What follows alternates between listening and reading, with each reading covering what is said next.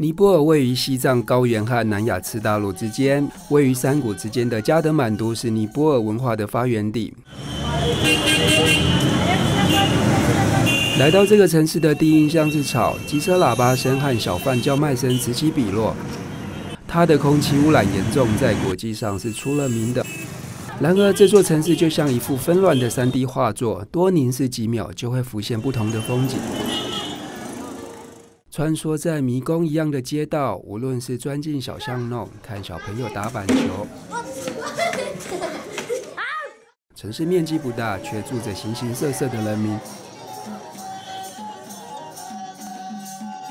站在路边看工匠，一笔一画勾勒着佛头，静静地看着这些日常的风景，心里总觉得暖洋洋的。加德满都最有看头的，当然还是那些名列联合国世界文化遗产的古迹：加德满都旧皇宫、帕坦杜尔巴广场、印度教神庙帕斯帕尼纳神庙，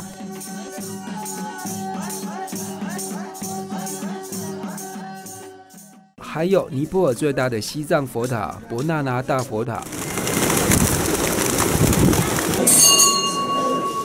无论是印度教、藏传佛教，都可以在这个城市找到安身立命的地方。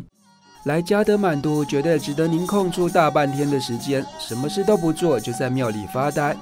看着满天神佛庄严法相，观察信徒们虔诚的表情，或者聆听孩子的笑声，我们这才相信，原来天堂都一直存在着。